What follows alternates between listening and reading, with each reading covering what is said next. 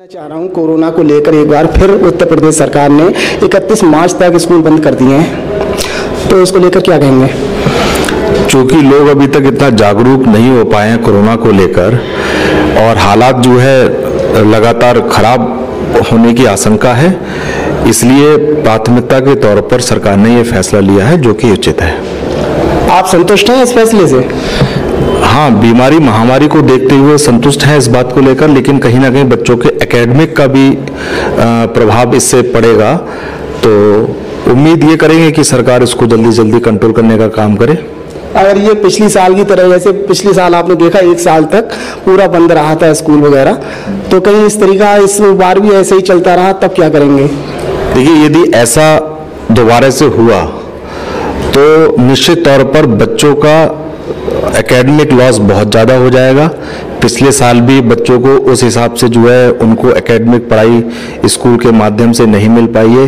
पढ़ने वाले बच्चों ने जैसे तैसे अपना जो है साल इसको काटा है उन्होंने एनुअल एग्ज़ाम भी दिए हैं। अगर एक साल और ऐसा किया जाएगा तो निश्चित तौर पर बच्चों का बहुत बड़ा लॉस होगा।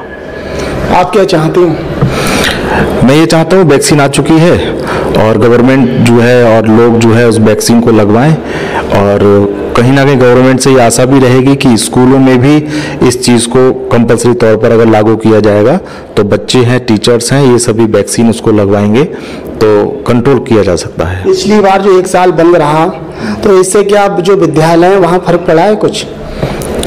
बहुत सारे विद्यालयों पे फ़र्क पड़ा है हमारे विद्यालय पे फ़र्क पड़ा है। लगभग और बच्चों को भी फ़र्क पड़ा है पेरेंट्स को भी फ़र्क पड़ा है। कहीं ना कहीं इस चीज़ को लेकर सभी लोग प्रभावित हुए हैं।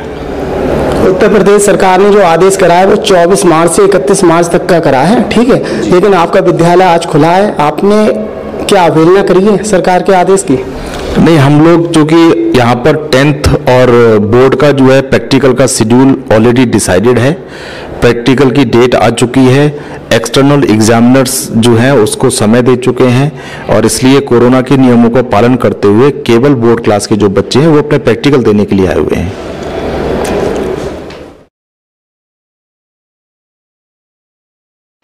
हमारे साहब, कोरोना संक्रमण को लेकर एक बार फिर उत्तर प्रदेश सरकार ने स्कूल 31 मार्च तक बंद कर दिए। हैं। तो क्या करेंगे? आप क्या कहना चाहते हैं इस बारे में? देखिए, सरकार ने जिस तरह से स्कूल एकदम बंद करने का आदेश किया है, ये बिल्कुल ठीक नहीं है। क्योंकि हम लोग इसमें परीक्षाएँ करा रहे हैं। कोरो- कोरोना का प्रोटोकॉल की पूरी तरीके से हम लोगों ने तैयारी पहले से कर रखी है। सैनिटाइजिंग की व्यवस्था है हम लोगों के पास। सोशल डिस्टेंस का पूरा पालन कर रहे हैं। यदि स्कूल इसी तरह से सरकार बंद करती रही। तो आज के जो बच्चे हैं ये बिल्कुल आवारा हो जाएँगे अनाथ की तरह घूमेंगे। और शिक्षा व्यवस्था जो हमारे मैदानी बच्चे हैं शिक्षा व्यवस्था एक तरह चौपट हो जाएगी कि हम उसे कंट्रोल नहीं कर पाएँगे। समस्या यहाँ पर आ रही है सरकार रैलियाँ करा रही है। सरकार चुनाव की तिथियाँ बदलवा के परीक्षाओं को आगे बढ़ा रही है। सर, सरकार देश किधर ले जाना चाह रही है?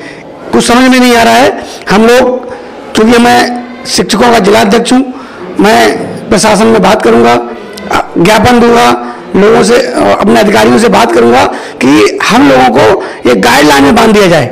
हम लोग उस गाइडलाइन के तहत अपने बच्चों को पढ़ाएँगे, कहीं कोरोना संक्रमण नहीं आने वाला है इसमें, क्योंकि हम लोग सभी प्रोटोकॉल सोशल डिस्टेंस मास्क और सैनिटाइजिंग स्कूल को हर दूसरे दिन कराते हैं। इसलिए हम लोग चाहते हैं सरकार से कि ऐसी कोई समस्या पैदा ना करें, जिससे हमारे बच्चे हमारे स्कूल बंद होने की कगार पे आ जाएँ। हम लोग वित्तहीन के स्कूल वाले हैं।